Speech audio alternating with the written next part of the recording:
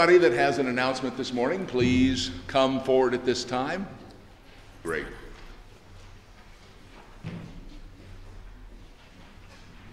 Good morning. Can you hear me okay?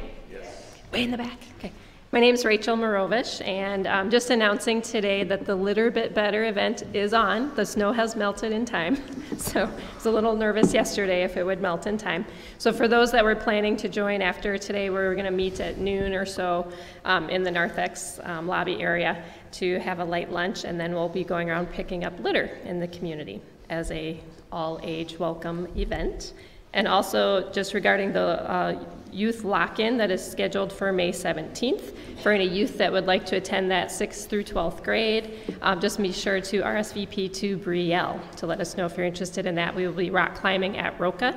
This time we have a reservation and um, have a fun night like we've always had in the past too. Or just let us know if you have any questions about that event if you'd like to learn more. Thank you. Thanks, Rachel. Morning, I'm Pat Espesette. I'd like to give you an update on our uh, wooded hillside. You're probably hearing it referred to more frequently as an urban forest. Well, it's in transition from a buckthorn infested woods to a natural forest, albeit a small forest here in the city. The last two years, you know, we had our goats here, but not this year because there really isn't that much buckthorn left for the goats to eat. However, even without the goats, exciting things are happening on our hillside. So last fall, Donal and Ronan Couch's Eagle projects were to put a trail in the woods with areas for learning centers and to build benches, which will soon be, in, be placed along the path for meditation, or to sit and enjoy the beauty of the woods. Last Friday, we were on the hillside all day with East Side Services, clearing the woods of brush and dead trees. There were like five dead trees that had fallen, but they got caught in other trees. So they were at this angle. They're all down now. So Eastside will be back this week with a wood chipper to uh, get all the piles along the woods uh, cleaned up. So that was the first step to make our woods safer and easier to walk in without all the tangled brush. In May, Prairie Restorations will install 30 sod-like flats of native shade perennials. So these would be like two foot squares and they'll cut them apart and plant them all over the hillside. And then we'll have 400 plugs of 20 different varieties of native flowers, perennial flowers, along the edge of the woods. The hope with all these plants is that some of them will love their new environment, will flourish and spread, making it difficult for little buckthorn seedlings, and for garlic mustard to grow. Now, back to all these little plantings that I talked about, we're going to need many volunteers to help water them. So please consider helping, if only for an hour or two.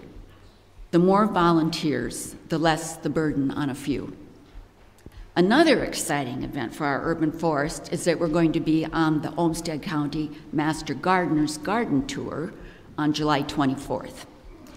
We're on the tour as an educational opportunity to show the progress of a buckthorn infested woods being turned into an urban forest. We want the community to come and enjoy our urban forest. God has given us this beautiful earth for us to live on and enjoy, but also to take care of. We can step right outside our church doors, walk along the path in the woods, See trout lily or jack in the pulpits in the spring, huge pileated woodpeckers knocking on the trees in the summer, or basketball size puffball mushrooms in the fall. Every walk in our woods is a new adventure, a new discovery. Our urban forest is ours to enjoy, it's ours to nurture. Thank you. Thank you, Pat, on this Creation Sunday it was really important that you understand and also acknowledge all the work that so many of our parishioners are doing to create this model for our surrounding community of what we can do to help nurture our earth again. I just have a quick announcement on um, Mother's Day, which is also Teacher Appreciation Day. Um, we're asking any of you students who play piano, violin, want to sing, whatever you would like to do, to be part of that musical adventure at the beginning of the service called our Prelude Time. And so there's a sign up, and I think only right now a couple of kids have signed up. So if your students want to play a piece that they have all prepared, even if it's a Christmas piece, that's fine. Um, please sign up on that sheet so we can kind of place them in that prelude area. Thank you. Great, thank you. Are there any other announcements? If there are no other announcements at this time, let us worship God together. Join me in the call of worship. Please stand. Please rise. We come today to worship God, the creator of our common home, the earth. This we know. The earth, the earth does, does, not belong, belong to us. us. We belong, belong to the earth. All things are connected. Whatever befalls the earth befalls the children of the earth. We, we did, did not, weave the web, of life. life. We are merely strands in it. Whatever we do to the web, we do to ourselves.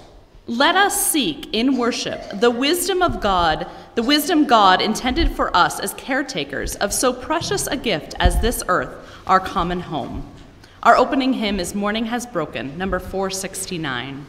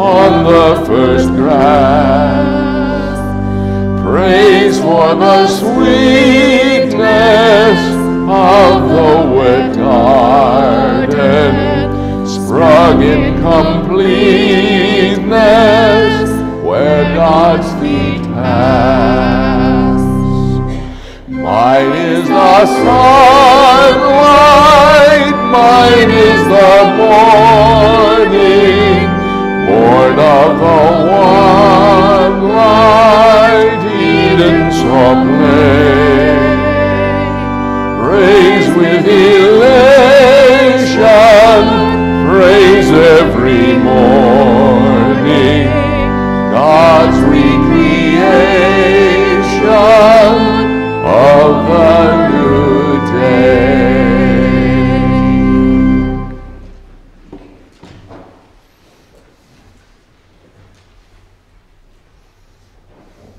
Just a reminder as well that there are some um, pew pad binders in the in the pews and just make sure that you pass those down and sign them so that uh, you can get to know your neighbor a little bit better. Join me for the prayer of invocation. Eternal, Eternal Spirit, Spirit, Earth Maker, Pain Bearer, Life Giver, Source of all that is and that shall be, Father and Mother of us all, loving God in whom is heaven the hallowing of your name echo through the universe. The way of your justice be followed by the people of the world. Your heavenly will be done by all created beings. Your commonwealth of peace and freedom sustain our hope and come, come on earth. With the bread we need for today, feed us. In the hurts we absorb from one another, forgive us. In times of temptation and test, strengthen us. From trials too great to endure, spare us. From the grip of all that is evil, free us. For you reign in the glory of the power that is love, now and forever. Amen. Please be seated.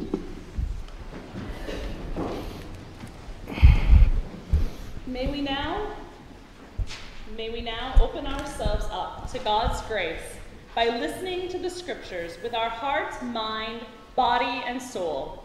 Here are scriptures for today. From Genesis 1 26 through 27, 31a.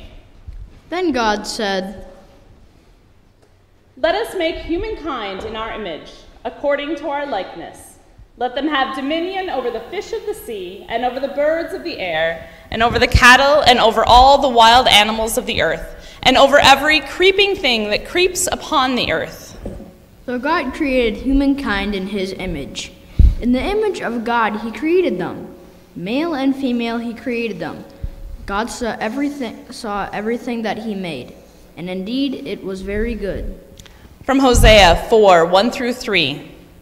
Hear the word of the Lord, O people of Israel, for the Lord has an indictment against the inhabitants of the land.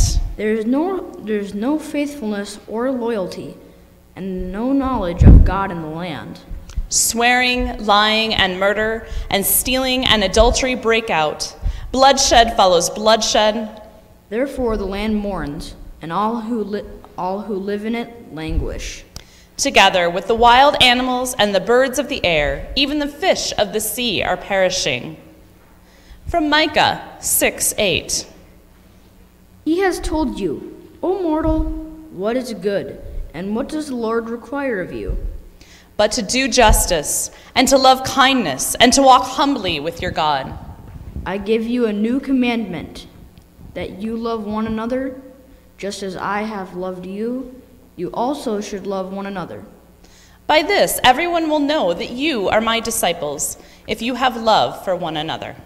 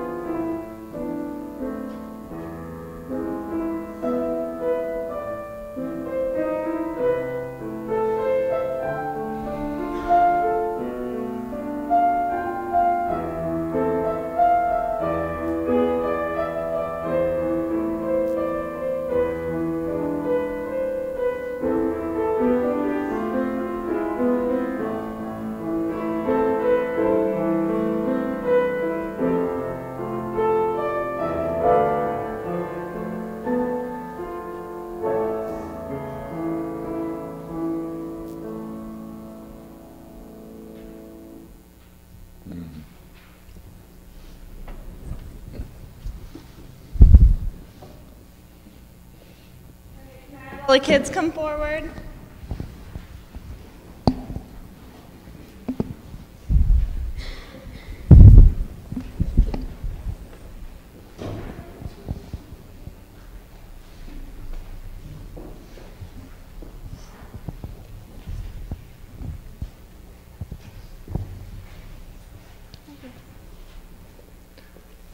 So I'm going to be reading a story to you guys and Brenny's going to help me because I can't hold the mic and hold the book at the same time. It's too hard.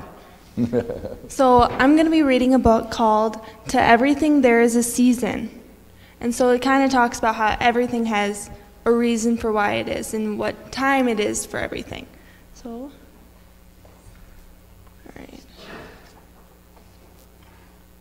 To everything there is a season, and a time to every purpose under the heaven a time to be born and a time to die, a time to plant and a time to pluck that up what up that has which been planted, a time to kill and a time to heal, a time to break down and a time to build up, a time to weep and a time to laugh, a time to mourn and a time to dance a time to cast away stones, and a time to gather stones together. A time to embrace, and a time to refrain from embracing. A time to get, and a time to lose.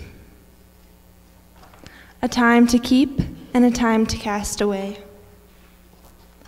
A time to rend, and a time to sow. A time to keep silence, and a time to speak, a time to love and a time to hate, a time of war and a time of peace. One generation passes away, and another generation comes, but the earth abides forever. So, did anyone notice something interesting about the pictures throughout the story?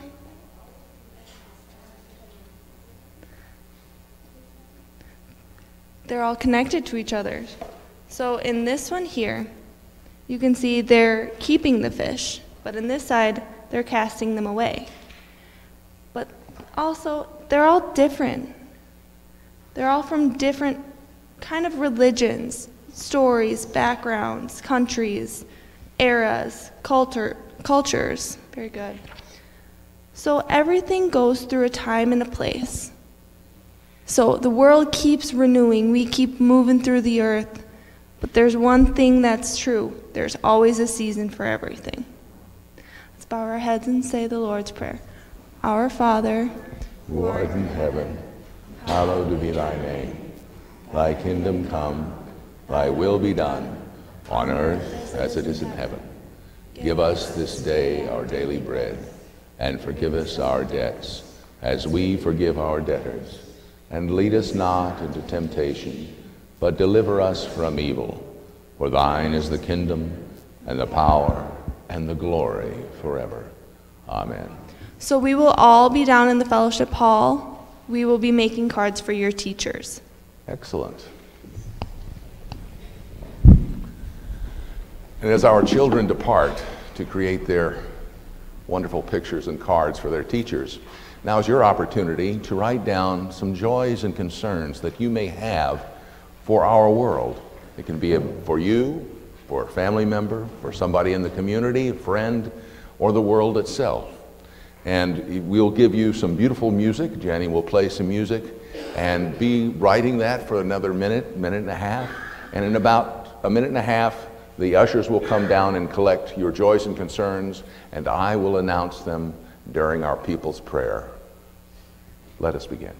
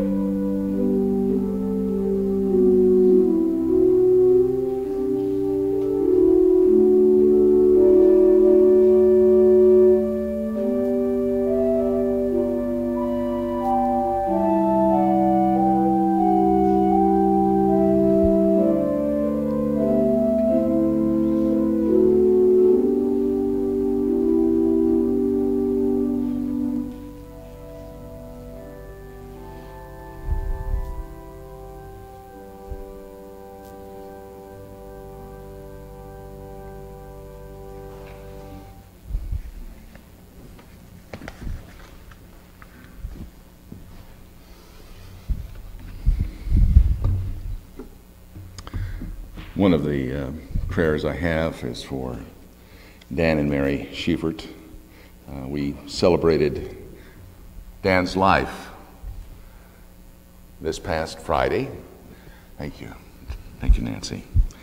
We celebrated his life, and they did not want it to have it in the church. Uh, Dan was not especially a religious man, but uh, he was certainly beloved by many people in this congregation, I know and uh, he had congregation members there. And uh, Mary uh, was mourning her husband, but also celebrating her family. And they, they themselves led the service, and it was a lovely service. So I just wanted you to know that. Creation Sunday. It's only one day a week that we have Earth Day but it's something that we live in, we breathe in we drink in every single minute of our lives. It's a miracle, really. The more we look out at the universe, the more we realize how rare and precious this world is.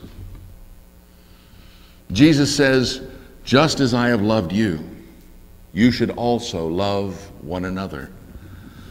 Now, I believe one of the most important ways we can love one another is to make sure that we take care of our home. We watch out for one another, for your health, your heart health, your mind health, your body health, and your soul health. This wonderful hillside we have in the back of this property is an indication of a way we can nurture not just the world, but ourselves. I was uh, in Barron County uh, helping my mother and father in law with their little farm, and I was doing a lot of chainsawing and moving brush and uh, splitting wood and, and all of that. And uh, I'm still a little wobbly in the knees today because of it but it is a way to enjoy the world and life. We can do things like driving sensibly so I don't run into your car or you as a pedestrian, buying things like clothing not made in sweatshops with a decent wage in their country, seeing things like your body language that says, You hurt me, or Can't we make this better? I can love you by sensing things like your spirit. It may seem low. What can I do to support your spiritual healing? Of course, there are many ways to love others, and love transcends all of our ways of knowing God. All the different levels I may have talked about during the Lenten series this past month, all of them are transcended by the love. It is the universal fifth element. If there are five elements, it's earth, air, fire, water, and love is what puts them all together, then why don't we care more fully for our home, our earth home? That's why I use the words of Chief Seattle in our liturgy today. The earth doesn't belong to us. We belong to the earth. So I was speaking with Carmen just the other day and uh, mentioning that I was going to be talking about creation and using it as Creation Sunday. And she said, Oh, what about James Weldon Johnson's The Creation? And I thought to myself, ah, I love that poem. It's part poem, part sermon. It is a way of getting close to the love of God for our world. So I'm going to go ahead and recite the creation. And I think you'll hear the love that was meant when it was they were first spoken for these are collections of sermons brought together by James Weldon Johnson and then the love with which he writes it down and the love of God hear these words from the creation and God stepped out on space and he looked around and said, ah, I'm lonely. I'll make me a world. And far as the eye of God could see, darkness covered everything, blacker than a hundred midnights down in a cypress swamp.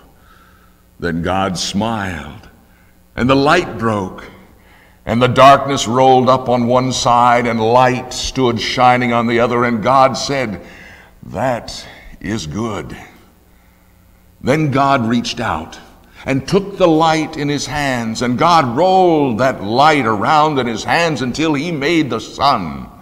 And he set that sun ablazing in the heavens, and the light that was left from making the sun, God gathered up it all in a shining ball and flung it into the darkness, spangling the night in with moon and stars. Then down between the darkness and the light, he hurled the world. And God said, That's good. Then God himself stepped down, and the sun was on his right hand, and the moon was on his left. The stars were clustered about his head, and the earth was under his feet. And God walked, and where he trod, his footsteps hollowed the valleys out and bulged the mountains up. Then he stopped and looked and saw that the earth was hot and barren so God stepped over to the edge of the world and he spat out the seven seas. He batted his eyes and the lightnings flashed. He clapped his hands and the thunder rolled. And the waters above the earth came down. The cooling waters came down. Then the green grass sprouted and the little red flowers blossomed. The pine tree pointed his finger to the sky and the oak spread out his arms. The lakes cuddled down in the hollows of the ground, and the rivers ran down to the sea, and God smiled again, and the rainbow appeared and curled itself around his shoulders. Then God raised his arm, and he waved his hand over the sea and over the land, and he said, Bring forth, bring forth and quicker than God could drop his hand, fishes and fowls and beasts and birds swam the rivers and the seas, roamed the forests and the woods, and split the air with their wings. And God said, Ha ha ha! Oh, that's good. Then God walked around and God looked around on all that he had made. He looked at his sun and he looked at his moon and he looked at his little stars.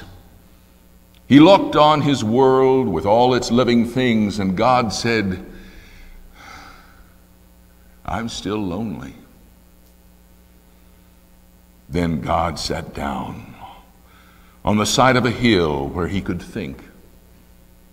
By a deep, wide river he sat down with his head in his hands. God thought and thought till he thought, I'll make me a man. Up from the bed of the river, God scooped the clay.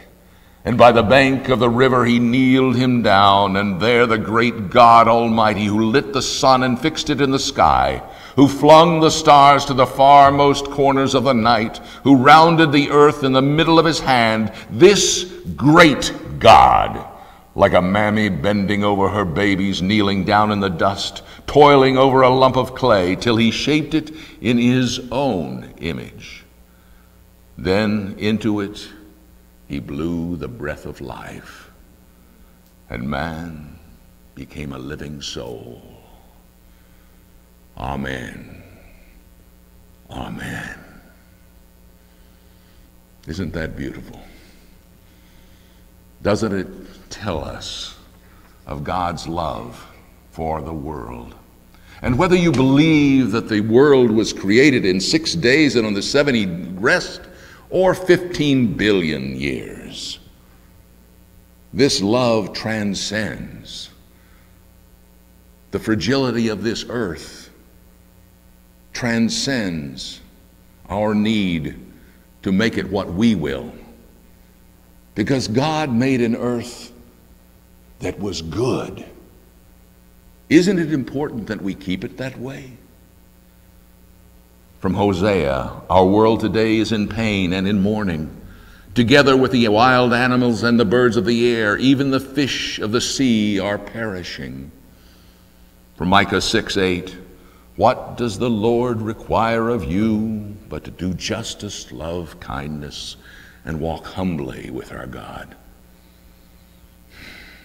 This church has embarked on a journey to create a beautiful space behind this church.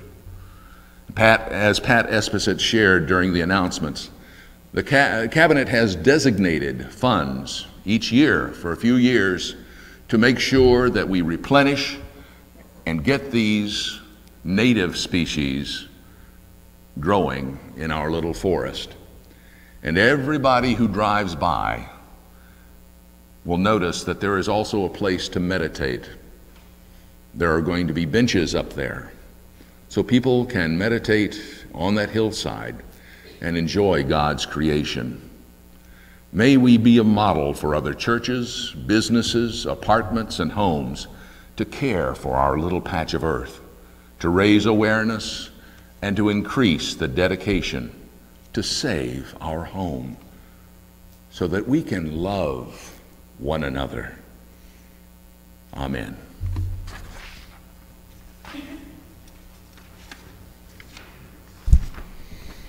Our next hymn is For the Beauty of the Earth, number 473 in your hymnal, and we'll sing verses 1 through 4.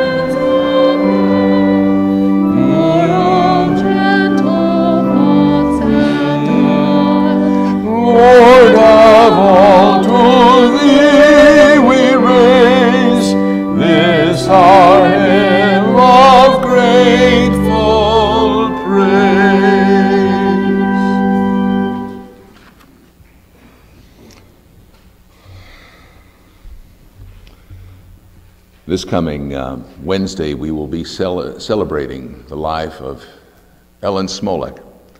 Uh, we expect a huge crowd. Uh, I, we're expecting 150 at least.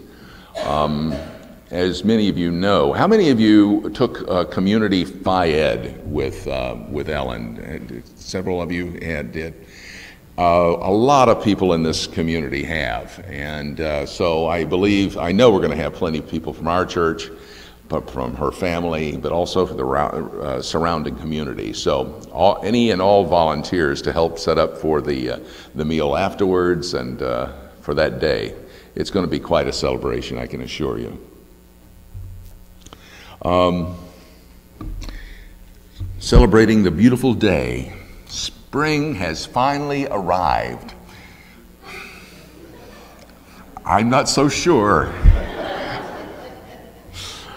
oh, grateful to those working in the little, little, little, little bit better cleanup project today. Well, oh, oh, little bit, that's right, that's what it's called. grateful for those picking up. Prayers for my wife, Norma Ray Hunt. She's going in for her foot surgery on uh, May 3rd, and I will play nurse for at least a week. So we'll see how that goes. Thankful for the pancake breakfast search party that helped me look for my missing four year old Henrik. Found him in the car. He, was, he decided he needed to go home. It was our pleasure, Jamie. My niece, Sharon, recovering from brain surgery. The MS walk is next Saturday. I'm concerned when people making money put that ahead of protecting God's world. Remember those in long term care facilities. Prayers for continued positive news for my sister. Thankful for gardening done and gardening yet to come. Concern for comfort and hope for victims of our synagogue shooting. Prayer for Christopher in the end stage of heart failure. Prayer for all of these people, the world, our friends, our family.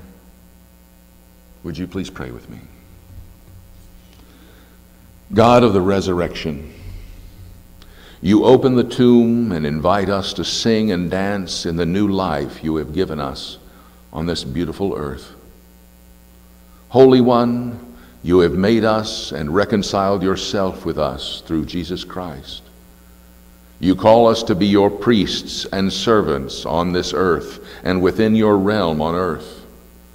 Guide our hearts, minds, bodies, and souls on our journey for healing. Healing for ourselves, our family, our congregation, our community, our country, and our world. Make the joy you feel about your creation embolden us to reach out a tender, strong hand to touch all those we meet with loving kindness. We pray for those who are living with the fear of climate change on the coasts New York, Miami, Houston, Texas, island countries in our world's oceans. Grant us the grace to learn from our mistakes and support those who may be living in polluted and polluting conditions. We pray for our food systems being undermined by an overabundance of antibiotics to feed our livestock. We pray for technologies that do not pollute our air, water, or earth. We pray for the political will to speak truth to power when it comes to healing our planet, our home, our one and only nest in this universe. We offer these prayers as a sign of our commitment to your kingdom on earth, the place you called good, in the name of your child, Jesus Christ, the one truly risen in our hearts. In your name we pray. Amen. God, we thank you for the countless acts of love, both large and small, that give life into our world. We dedicate these offerings and our lives to the power of your eternal love and grace. Let us give with our hearts.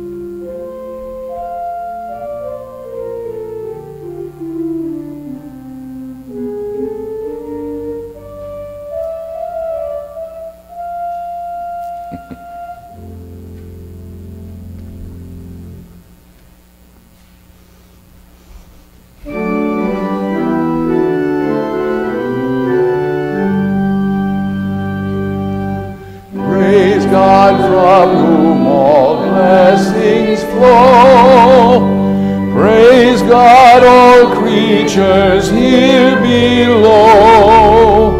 Praise God for all that love has done. Creator Christ and Spirit one. Amen. O great God, we dedicate ourselves again to serve as full partners with you. You call us to care for creation, to speak on behalf of those who cannot speak, to change our ways and reverse our course to align with your dream for the world. We offer ourselves and these gifts to partner with you on behalf of Earth, our common home, the home of your abundant and diverse creation. Amen. Our final hymn is number 267, All Things Bright and Beautiful.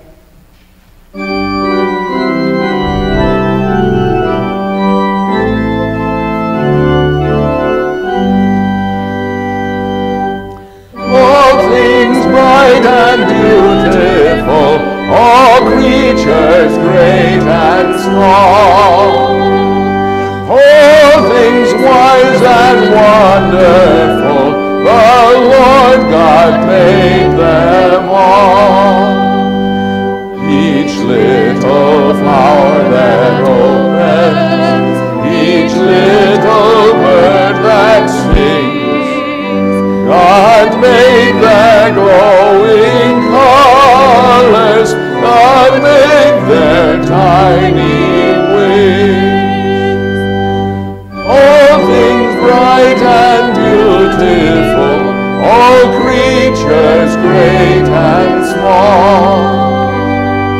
All things wise and wonderful, the Lord God made them all. The purple-headed mountain, the river running by, the sunset and the morning that brightens up the sky. All things bright and beautiful, all creatures great and small, all things wise and wonderful, the Lord God made them all.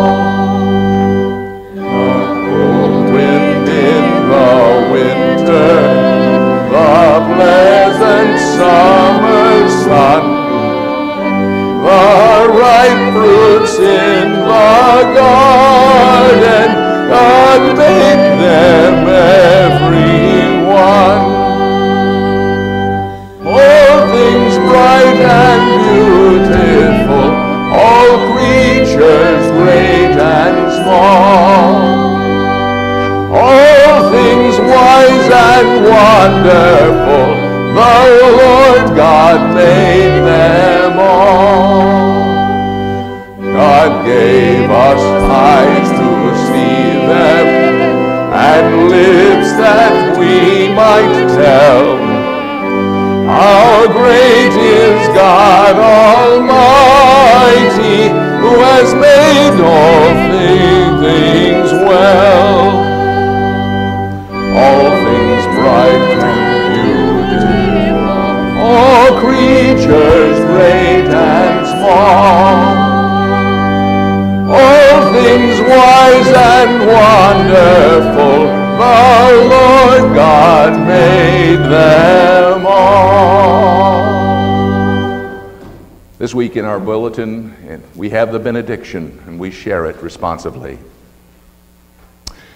This we know the earth does not belong to us, we belong to the earth. This we know all things are connected, like the blood that unites one family. This we know. We did not weave the web of life, we are merely strand in it. This we know. Whatever we do to the web, we do to ourselves. Let us go forth to love God's creation. Go in peace. Amen.